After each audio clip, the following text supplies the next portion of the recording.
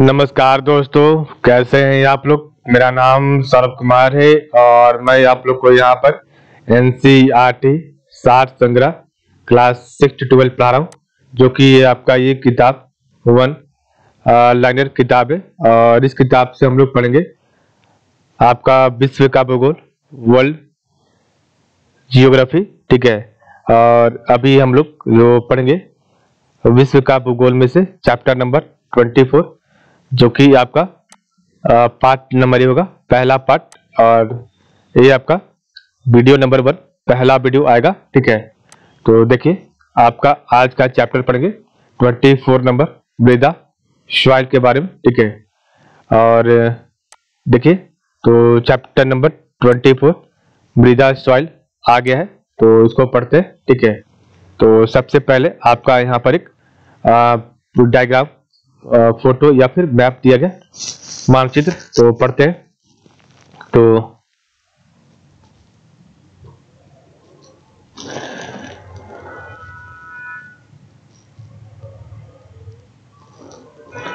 तो यहाँ पे आपका जो है, मृदा संसतर की स्थिति तथा आधारी चट्टानी, ठीक है? तो उसके बारे में यहाँ पर बताया गया। तो आपका मिट्टी का जो है स्थिति कैसा आपका रहता उसके बारे में? तो सबसे ऊपर आपका ह्यूमस ठीक है? तो इस वाले पार्ट में आपका ह्यूमस होता है ठीक है? और,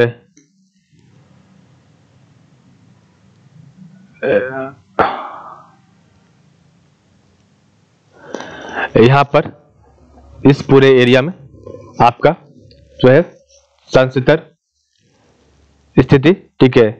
तो ये आपकी प्रमुख जो है मिट्टी होती है तो संसतर स्थिति ठीक है, मृदा। और यहाँ की जगह क्या है? तो मिट्टी की ऊपरी परत, बारीक अपसादों से ये आपके युक्त होते हैं, ठीक है। तो मिट्टी की ऊपरी परत, बारीक सॉरी बारीक अपसादों से युक्त होते हैं, आपके संस्तर स्थिति में आपकी जो भी मिट्टी होती है, खा आपका है। तो खा में आपका संस्तर स्थिति तो यहाँ पर आपका जो है उप मृदा, मिट्टी के आपके जो है सेकंड पार्ट जो भी आप बोलिए, ठीक है उप मृदा सब बोलते हैं। और, उप मिट्टी, और यहाँ पर आपका अपक्षयित चट्टानी पदार्थ, बालू, गाद व चिकनी मिट्टी इस एरिया में आपके पाए जाते हैं। तो इस एरिया में आपका उप मिट्टी होता है, और यहाँ पर अपक्षयित चट्टानी पदार्थ, बालू, गाद व चिकनी मिट्टी पाई जाती है, ठीक है। इस एरिया में आपका जो है, संस्तर स्थिति आपका, अब चट्टान होते, ठीक है। तो यहाँ पर आपका मिट्टी ना होकर चट्टाने होती है, और अब चैत आधारी चट्टान, यहाँ पर आपके चट्टानी पदार्थ होते हैं। तो अब क्षयित आधारी चट्टानी पदार्थ आपके इस एरिया में होते हैं थर्ड लेवल पर, ठीक है का लेवल में, ठीक है। फोर्थ आपका है तो चौथे पार्ट में आपका जो है शस्त्र स्थिति कैसी होती है तो आपका यहाँ पर आधारी चट्टान होते हैं, ठीक है? तो यहाँ पर आपका आप शहीद चट्टान था, और यहाँ पर आपका आधारी चट्टान है, ठीक है? और यहाँ का जो महत्वपूर्ण तथ्य क्या है तो मूल चट्टानी पदार्थ जो शहीद नहीं हुए तो आपका जो मूल चट्टानी पदार्थ जो शहीद नहीं हुए, वो आपका यहाँ पर होते इसे बोलते हैं सॉरी आधारी चट्टान इसे बोलते हैं, ठीक है? तो सबसे पहले था आपका मिट्टी, उसके बाद उप मिट्टी, उसके बाद अपच्छायित चट्टाने और उसके बाद आधारी चट्टाने, ठीक है? और सबसे ऊपर आपका ह्यूमस, ठीक है? इस वाले पार्ट में ह्यूमस। नेक्स्ट आपका केसिका क्रिया। तो केसिका क्रिया कैपिलरी एक्शन सबसे अधिक प्रभावशाली किस मिट्टी में होती है? तो आपका चिकनी मिट्टी में होती है। तो कैसिका क्रिया सबसे अधिक प्रभावशाली चिकनी मिट्टी में होती है। पेडलफर तो पेडलफर मृदा तो पेडलफर सॉइल के प्रकार क्या होते हैं? तो आपका इधर सॉइल मिट्टी के बारे में बताया गया और इधर आपका विशेषताएँ है, ठीक है। तो धूसर पॉडजोल ठीक है? तो उप आर्कटिक जलवायु प्रदेश के टैगा या कोनधारी वनों में अम्लीय मिट्टी, जिसका पीएच मान चार, वो आपके पाए जाते हैं, ठीक है? तो धूसर पौडजल मिट्टी, उप आर्कटिक जलवायु प्रदेश के टैगा या कौनधारी वनों में अम्लीय मिट्टी, पीएच फोर मान वाला पाया जाता है। धूसर भूरी पौडजल तो धूसर भूरी, पौडजल तो मध्य अक्षांशीय, पतझड़, वनों की पेटी में ह्यूमस की मात्रा अधिक होती है, ठीक है। नेक्स्ट आपका लाल, पीली, पौडजल तो ये आपका उपोषण, आर्द्र जलवायु प्रदेशों में पॉट जोलाइजेशन व लेटर लेटराइजेशन प्रक्रिया से निर्मित होती है, ठीक है। तो लाल पिल्ली पॉडजोल उपोषण आर्द्र जलवायु प्रदेशों में पॉडजोलाइजेशन व लेटराइजेशन प्रक्रिया से निर्मित होता है। नेक्स्ट आपका, लाल पॉडजोल या टेरा रोसा मिट्टी, ठीक है? और इसका जो महत्वपूर्ण तत्व है, भूमध्य सागरीय प्रदेशों और चूना प्रधान क्षेत्रों में फेरस ऑक्साइड ए फ़ी टू ओ थ्री की उपस्थिति के कारण लाल रंग ये आपका होता है, ठीक है। नेक्स्ट आपका लेट्राइट मिट्टी तो उच्च तापमान व प्रचुर वर्षा वाले, उसने कटिबंधीय वन क्षेत्रों में, ऊपरी भागों में ए फ़ी two O three ferrous oxide तथा एल्यूमिनियम के लवणों की अधिकता यहाँ पर होती है आपके इलेक्ट्राइट मिट्टी में, ठीक है। नेक्स्ट आपका है। पेडोक सॉरी पेडोकल मिट्टी के प्रकार। तो पेडोकल सॉइल के आपके प्रकार क्या होते हैं? तो यहाँ पर आपका मिट्टी, मृदा, और यहाँ पर आपका विशेषताएँ हैं। तो सबसे पहला आपका प्रियरी मिट्टी, ठीक है?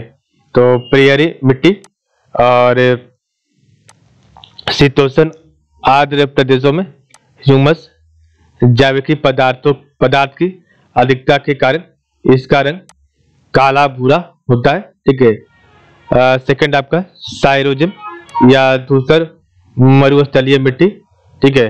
और यहाँ पर आपका जो मध्य अक्षांशीय शुष्क मरुस्थलों में क्षारीय मिट्टी, जिसका पीएच मान आठ से अधिक होता है, ठीक है। नेक्स्ट आपका चेरजोनम तो चेरनोजम, ये आपका जो है सर्वाधिक उपजाऊ और भूर भूरी मिट्टी ह्यूमस की अधिकता के कारण इसका रंग काला होता है। ठीक है। नेक्स्ट आपका लाल चेस्टनट और लाल भूरी मिट्टी। तो मिट्टी शवाना प्रदेश के अर्ध शुष्क भागों में पाई जाती है। ठीक है। नेक्स्ट आपका चेस्टनट तो चेर नोजम मिट्टी के शुष्क भागों में गहरे भूरे रंग की होती है। ये ठीक है। नेक्स्ट आपका लाल मरुस्थलीय मिट्टी। तो यह उष्ण कटिबंधीय शुष्क मरुस्थलीय प्रदेशों में प्रदेशों की मिट्टी होती है। ठीक है। ये आपका टूंड्रा प्रदेश की मिट्टी। तो अल्प विकसित मिट्टी जिसमें जैव तत्वों व महत्वपूर्ण खनिजों का अभाव होता है। ठीक है? तो ये आपका पेडोकॉल मिट्टी का प्रकार थे तो प्रियरी मिट्टी शायरोजिम या दूसर मरुस्थलीय मिट्टी चेरनोजम मिट्टी, लाल चेस्टनट और लाल फोरी मिट्टी चेस्टनट और लाल मरुस्थलीय मिट्टी, और आपका टुंड्रा प्रदेश की मिट्टी। ठीक है? नेक्स्ट आपका है मृदा अपर्दन तो मिट्टी अपर्दन को किस प्रक्रम द्वारा नियंत्रित किया जाता है? तो मृदा संरक्षण के द्वारा मृदा अपर्दन को नियंत्रित किया जाता है। मृदा निच्छालन सॉइल लीचिंग किस भौगोलिक क्षेत्र की बड़ी समस्या है? तो उष्ण कटिबंधीय वर्षावन प्रदेशों की। टेरा रोसा तो टेरा रोसा का प्राकृतिक रूप, प्राकृतिक विकास उस भूभाग में होता है जहाँ चूना पत्थर लाइमस्टोन पाया जाता है। रेंडेजीना तो रेंडेजीना टेरारोसा व टेरारोसा मिट्टियाँ किसके अंतर्गत आती है? तो कैल्शियम युक्त मिट्टी के अंतर्गत आती है। मिट्टी या पर्दन के प्रत्यक्ष या अप्रत्यक्ष कारक कौन कौन है?